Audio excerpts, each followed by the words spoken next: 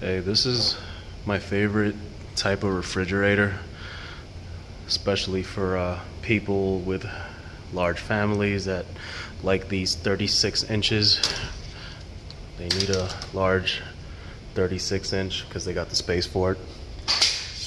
I like these because it has one set of coils at the bottom and that one set of coil with this fan would circulate the air all throughout, right?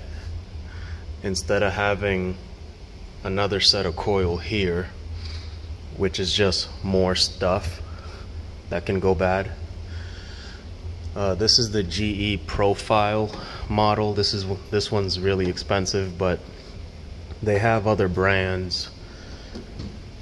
They have other brands of a similar style and they kind of all use the same parts like I've been saying more or less. Like this this fan motor. I've replaced this fan motor on different different brands. Maybe it has a different plug or something but it's the same. So if you need a 36 inch refrigerator and uh, you think that you have to get the dual coil or twin cool version, try to get one of these.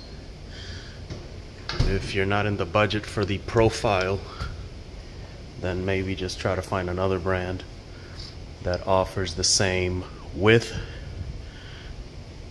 with the technology here, the engineering that I'm talking about. Just one set of coils.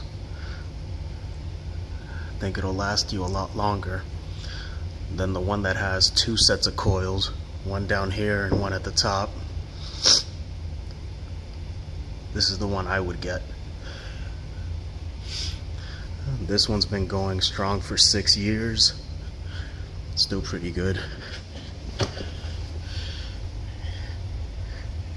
It's raining. We got the uh, Gotham City bat. Hey, look, there's Batman.